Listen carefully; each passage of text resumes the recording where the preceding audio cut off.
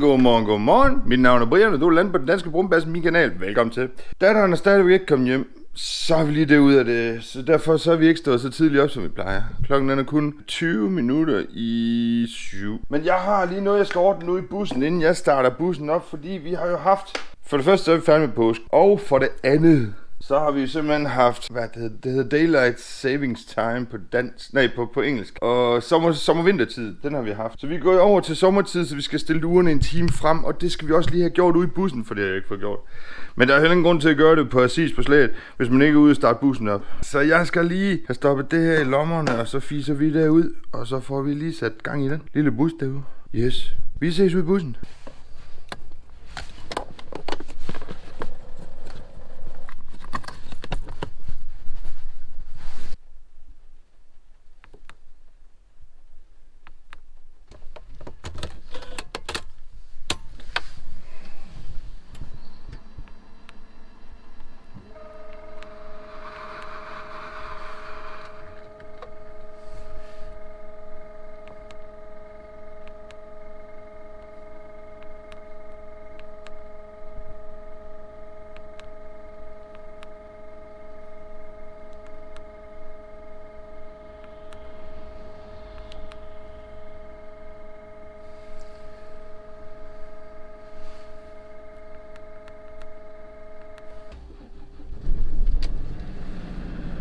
Jeg ved ikke, hvorfor sådan en sprinter her, den har lidt svært ved det, hvis du ikke afkobler øh, batteriet, og så står stille i mere end 5 dage. Det er ikke løgn. Jeg har haft den oplevelse flere gange, og jeg vidste ikke til at starte med, at det var fordi, jeg ikke havde pillet den strømafbryder dernede fra. Men når du har batteri til at sidde på, og den bare holder stille, det er en Mercedes altså ikke designet til. Den er designet til at arbejde åbenbart. Meget hårdt den er hele tiden så igen. Så har jeg altså haft startsproblemer. Ikke, ikke, ikke, jeg kan godt dreje nøglen til at starte med, men i det jeg så tænker, nu sætter jeg den i gang, så øh, så gik den i stå, og så kunne jeg sidde med neglen på starteren.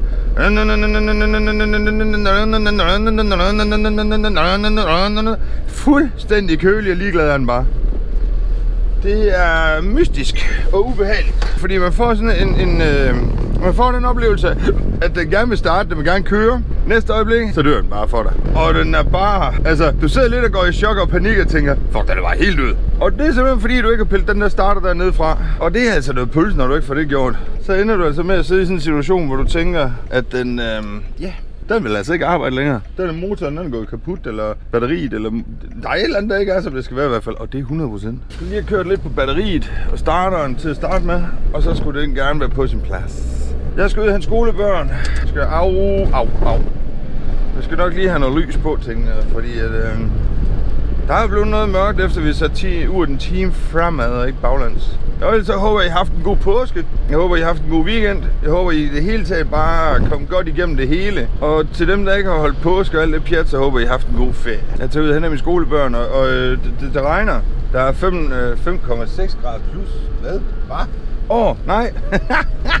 Det er min kilometerstand. Der har jeg et lille tip, hvis du gerne vil have grader, og du har pillet afbryderen fra, eller du har været oppe ved øh, en autoriseret, og han har pillet batteriet fra, eller et eller andet stil, ikke? Så kan du kun se din kilometerstand, men hvor bliver graden af? Og det gør du simpelthen bare ved at holde M inden, så hopper den over på grader. Sådan. Og den siger 5 grader udenfor. Super duper. Det er lidt mærkeligt, det ikke er det er lidt mærkeligt, det ikke er mandag, for det er jo trods alt tirsdag i dag. Og det er altså mærkeligt. Det, kan, det ugen er snart om, mand. Fuldstændig crazy. Jeg kører ud efter min første skolebarn, og så ses vi senere mellem skolebørnene. Eller efter, efter skolebørnene. Og jeg formoder, der skal tankes i dag, fordi jeg mangler allerede på nuværende tidspunkt mangler fire striber eller streger brændstof. Jeg mangler fire streger brændstof. Jeg har fået samlet skolebørnene op, og jeg har sat dem af. Og fordi der har manglet... Jeg tror, der er en, der er syg, men jeg er ikke sikker. Fordi forældrene melder ikke syg. De melder bare, han kommer ikke her til morgen, eller skal ikke hentes her til morgen. Så gør det, det lidt irriterende for mig, fordi så skal jeg konstant have en besked om, øh, hvornår skal han med igen. Så jeg skrev så, at øh, vi ses igen i morgen. Så ses vi i morgen tidlig. Øhm, og det svarer forældrene så ikke på. Og så må jeg lige have fortalt dem, bror, vi melder syg, og vi melder rask. Det er det. Jeg gider ikke have noget derinde imellem. Jeg gider ikke blive skrevet til hver eneste morgen, eller øh, klokken sen om aftenen, eller sådan noget. Jeg går i seng på et tidspunkt, der ikke passer jer andre. Og der gider jeg bare ikke at høre på telefonen bimle og bamle. Det gider jeg bare ikke. Og så var der en anden en, der tror jeg, øh, barnet har været op ved sin far. Derfor skal han så ikke med her til morgen, men han skal med hjem. Og så er mit lille, mit lille læbebarn, hun var min lille pige der, hun var med igen. Jeg elsker, jeg elsker samtidig, når jeg sidder her og spiller klog, og, og hun sidder derom og siger, nej, nej, nej, nej, nej, nej, det kommer aldrig til at ske. Så sidder jeg sådan lidt der, er du nu så sikker på det? Hvordan kan du være så sikker på det? Fordi hun, hun sidder og siger til mig, nu får hun pølse. Hun vil kun have pølse, og pølse er bare godt.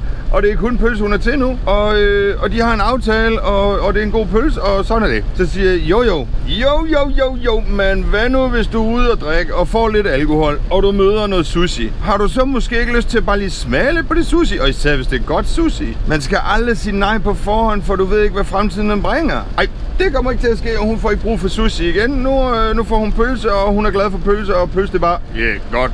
Nå, det er nok sådan cirka en uge før ferien, vi snakker om det, hende og mig. Og så sidder jeg så og siger, ja, jeg kan godt følge dig. Jeg kan godt følge dig. Men hvad nu hvis? Det kommer ikke til at ske. hun er stærkt overbevist om, det kommer aldrig til at ske igen. Fordi nu har hun den her fantastiske aftale. Så siger jeg, nej, så i stedet for bare at så sige, det kommer ikke til at ske, så hellere sikre dig og få snakket med pølsen omkring, hvordan, hvordan er reglerne. Fordi hvad nu, hvis du skulle få lyst til et tilbagefald inden for sushi, så vil det være rart nok for, for pølsen at vide, at det kunne forekomme. Og hvad synes pølsen så om det? Er den i modstander af det? Mister du så pølsen? Eller er den okay med det, og beholder du så pølsen? Altså, der, der, er lige nogle, der er lige nogle ting, hvor man tænker, ja, yeah, det kunne da godt være. Og så siger hun, nej, det kommer ikke til at ske. Og så, så, så en uge efter her, øh, øh, første uge efter ferien, tager vi så hul på det, og så siger hun så i dag, ej, nu skal der bare høre, hvad der skete i ferien. så sent som i lørdags, der fik jeg sushi. Jeg var ude i byen og spiste sushi. Og det var bare smækker lækker. Og så siger jeg, hvad var det, jeg sagde til dig inden ferien? Sådan cirka en uge inden ferien måske. Måske 14 dage inden ferien, men cirka deromkring i det tidsrum. Hvordan synes du selv, det går? Hvad sagde du til mig inden ferien da? Skal vi prøve at ramme lidt op på? Ja, prøv det. og så har jeg fortalt jer så det, jeg lige fortalte jer. Nå ja. Og så er hun flad ikke? Ej, det kommer ikke til at ske. Nej, det kommer ikke til at ske. Nej, nej. Nej, nej. Man skal aldrig sige aldrig. Man kender ikke sin fremtid. Man kender ikke sin lyst og sin drifter, og det er forfærdeligt. Men øh, en lille anekdote fra det virkelige liv, hvor jeg forsøger at fortælle om min øh, fornuftighed, min, min rigdom og min øh, ekspertise, eller hvad man nu kalder det. Og så siger jeg så, så, så, så, så sidder jeg sådan og tænker lidt, hvorfor hører børn og unge mennesker egentlig ikke efter, når de får et guld rystet lige ud af armen? Hvorfor, hvorfor hører børn ikke efter? Hvorfor hører unge mennesker ikke efter? Hvorfor tror de virkelig selv, at de kan bedre opfinde den dybe tallerken, end den, der er opfundet? Altså, jeg, jeg forstår det ikke. Gør jeg ikke? Du får guldkorn hældt ud af armen hos mig. Tag imod. Berig dig af det. Bliv klogere på det. Gør noget. Men nej, nej. Det har jeg ikke noget, jeg skal bruge til. Nej, kommer ikke til at ske. Nej, nej. det. Jeg er på vej over for at tanke. Vi har stadigvæk på nuværende tidspunkt fire manglende streger. Så der skal brændstof på automobussen. Automobussen. Jeg har trykket en ny tur, der skete ingenting. Jeg har sådan lidt, jeg viger den samme mængde, du viger. Hvis du kører på kanten af asfalten, så kører jeg på kanten af asfalten. Kører du ud i mudderet, så kører jeg ud i mudderet. Hvis du kører ind på midten, så kører jeg ind på midten. Altså, der, der er helt, helt kold og kynisk. Jeg gider slet ikke at bruge min tid og energi på det der med, at jeg skal vige, fordi jeg har en virksomhedskøretøj. Hvorfor skal det slides anderledes end dit? Mit, det skal holde til, til ikke nær så mange år, men det skal holde til flere kilometer og arbejdsregi. Bare fordi det er en virksomhedsbil, du har, så er det jo ikke ens betydning med, at, øh, at den behøves. Og så det jeg så hader ved det her, det er, at vi har fået så meget regn, så mudder det pff, ind på vejbanen, fordi man kører igennem det med dækkeren. Dækkeren! Uh, du har noget plastik til at sidde der foran. Som jeg sagde før, vi ses senere.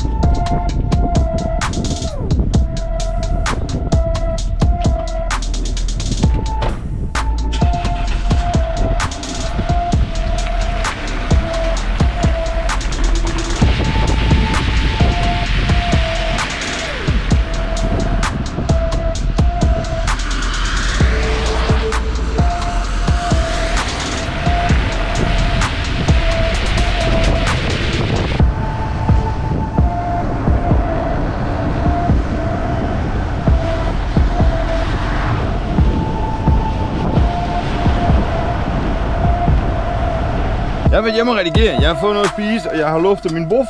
Og jeg kan også have gjort det i den anden rækkefølge. Det bestemmer du faktisk ikke. Men, men buffen blev luftet til sidst. Men den bliver også luftet som noget af det første, når jeg kommer ind. Og øh, jeg vil så lige hilse og sige, at det sneer. Og vi ligger på en halv grad. Vi har ligget på 1 grad. Nu ligger vi på en halv grad. Og så er der sket en eller andet med vindue herovre. Jeg ved ikke lige, hvad det er. Men jeg tror, det har været, mens jeg holdt hjemme. At der er en eller anden, der har tænkt, øh, han er bare mega smart. Fordi prøv at se her. Prøv at se her. Den streg der, den var der ikke i morges. Den bule der, den er lige der. Og øh, det der plejer ikke at se sådan ud. Og den streg, den var der bare ikke i morges. Så et eller andet er der sket, imens jeg har været hjemme og, og, øh, og, og været hjemme og få noget at spise og sådan noget. Yberfyrsten har skrevet til mig og bedt mig om at hente hende en lille pige på jul, så det gør jeg også. Og så derudover, jamen, øh, jeg er på vej op efter mine 12 børn. Jeg har 7 minutter endnu øh, til at egentlig skal hente dem, sådan helt præcis, præcis hente dem. Men vi tager jo selvfølgelig op, hvis det er, at de er klar til at tage afsted lidt før, så er det jo fint. Så er der lidt tid i overskud den anden ende. Og det er altså bare rarest. Så jeg kører op og henter mine 12 børn, og så ses vi senere, når de er afleveret. Der er to stykker. Der er en lille, lille pige og så den lille pige. De skal jeg gerne hjem. Jeg har samlet 12 børn op, og jeg har sat 12 børn af. Ja, på den sidste del af strækningen, hvor, hvor øh, lille pigen hun skulle hjem. Der, øh, der blev hun utæt ovenud til. Så hun kastede altså op i øh, bussen. Dog heldigvis havde hendes mor givet hende en plastikpose med, så der var en plastikpose. Det var jeg da taknemmelig over, det må jeg nok sige. Fordi hun var ikke, hun, jeg ved ikke om hun havde nået at bemærke det, det havde hun nok, for ellers havde hun ikke taget plastikposen op, og så ville hun jo bare have sagt det til mig, at Brian skulle bruge en plastikpose. Øhm, så der tænker jeg nok, at det var nok sagt til mig, hvis det var, det var. Jeg skal over til pigen over i Suldrup på jul, så hende kører jeg over og henter nu. Og efterfølgende, da jeg ikke har hørt noget fra øhm, den lille fast lokaltur, så går jeg ud fra, at den også skal hentes i dag. Og den ligger lige bagefter. Så den, jeg kører over og henter den lille pige på jul over i Suldrup. Den ligger på 0 grader lige i øjeblikket, og jeg gik og tænkte på at slå græs den anden dag. Det var fjollet meget, kan jeg sige. Kan jeg se, når det sneer så meget, som det gør. Det var helt fjollet. Så nu tænker man lidt, skal vi have mere vinter? Goddammit! Jeg gider det ikke. Jeg har kørt lille pige fra på, på jul fra Suldrup og hjem. Og nu er jeg på vej over til min lille lokaltur. Og jeg har været over og vise bossen det, der er sket med ruden. Til at starte med, så sagde han, nej, der er nok en, der kørt på den. Og så lidt senere sådan lidt, Ah, det kan godt være, der har været indbrud i den. Og så sådan lidt igen. Ah, det kan godt være, der er en, der kørt på. Altså, jeg er lidt ligeglad med, hvad der er sket. Jeg vil bare gerne have en ser det, fordi så ved jeg, så, så og jeg, jeg har ingen idé om, inden erindringer om, hvordan og hvornår og hvorfor det er sket. Så jeg kan ikke engang sige, jamen det var der og der, og det var på det tidspunkt, og bla. Har ingen idé overhovedet. Om den var der i morges, er jeg begyndt at blive lidt i tvivl om, fordi den hvide streg ser jeg ikke så tydeligt, som jeg har gjort.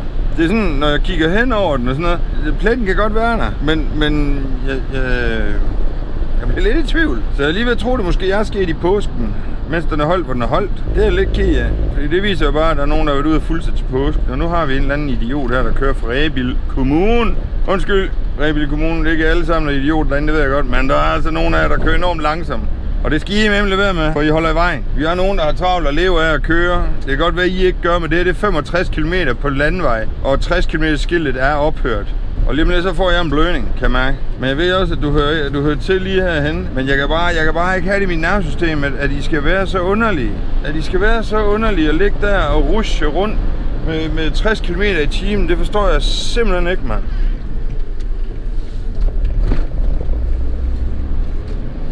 Du må køre 80, når du er uden for byen, din klaphat. Nu er jeg inde i byen. Nu skal jeg se farten ned. Måske skal jeg se farten ned op til ind i byen. Men det er jeg ligeglad med.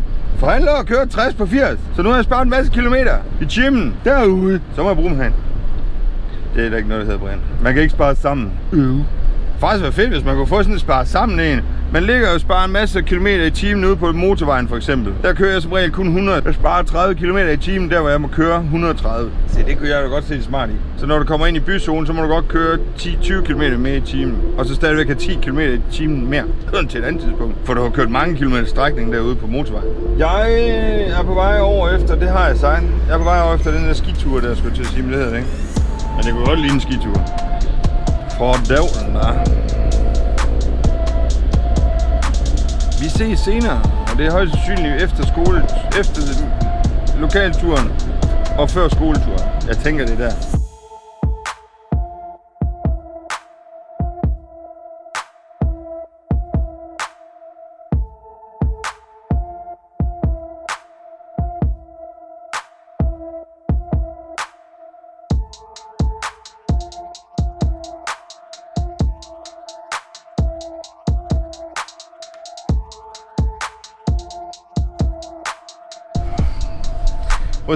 Her, ikke? Og der har vi et skilt. Der står et skilt lige der om at vejen den er lukket i det næste område. Så er der noget omkørselshalløj også. Og ja, det er bare så skønt det hele nu. Nå, jeg havde en postbud og en anden mand, der sad og begge to og glodede på mig, fordi jeg satte dig op i, øh, i øh, antennen, der skulle jeg sige, op i. Mens jeg var på vej over efter den her forbistede øh, total lokal tur. Det var faktisk dem, der kom kørende lige der. Så får jeg at vide, at den skal ikke med i dag.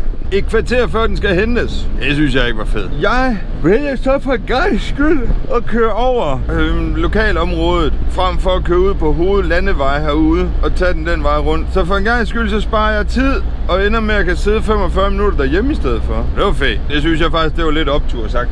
Så hurra for mig, hurra for det. Lidt træls, at den skrev så sent, men, men jeg dør jo ikke af, og det er jo sådan, det er. Jeg kunne lige så godt først få det at vide, når jeg egentlig kom derud, men hun er så sød at give meddelelse om det. Delvis god tid normalt. Jeg er på vej over for at hente skolebørn over i Skørping. Så der vil jeg køre over, og så vil jeg hente de skolebørn der, og så skal jeg sat ned hjem og øh, få redigeret færdig. Og så skal jeg godt nok hen og spise, så øh, ned til byen. Fordi øh, noget mellem ind i det fitnesscenter der, det, det er gået fuldstændig stå her i påskeperioden der. Så nu, nu skal vi i gang igen. Godt mærke, jeg har ikke lyst. Godt mærke lyst nær at dele nemme godt nok, ikke? Til at gå i gang igen. Men det, jeg tror, det er bedst for mig selv og godtest for mig selv. Eller rettere sagt, det ved jeg, det er. Det ved jeg, det er.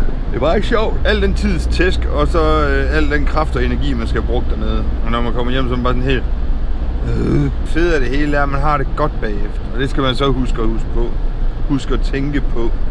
Så er noget bøllemith. Og det er noget bøllemith. Vi ses senere, når der er blevet afleveret skolebørn. Igen har den valgt at ikke optage lille lortekamera, man. Kraft i helvede, fuck lortekamera, fuck lort. Lille fuck lortekamera, fuck lort. Jeg har hentet mine elever, og jeg har afleveret mine elever. Jeg gider da ikke holde der 99 sekunder, hvis jeg kan køre herned af, og så bare komme den rigtige sted hen. Motherfuckers! Og oppe i den anden ende af byen, der er den også spærret. Der hvor jeg, der, hvor jeg plejer at køre op, der er den også spærret. Ja, det går kraftigt godt af i byen. Man. Så en lille by, den kan blive totalt eh, blammet. Fuldstændig. Jeg vil bare sige, at mine skoleelever er samlet op, og jeg har gudjømme også afleveret mine skoleelever. Jeg er på vej hjem og jeg vil hjem, og så vil jeg redigere, og så vil jeg have noget at spise, og så skal jeg afsted. Så jeg vil bare lov at sige tusind tak, fordi du kiggede ind. Mit navn det er Brian, og det her det er den danske brumbasse. Kan du holde den flyvende lige indtil vi ses igen? Moin så længe. Uh!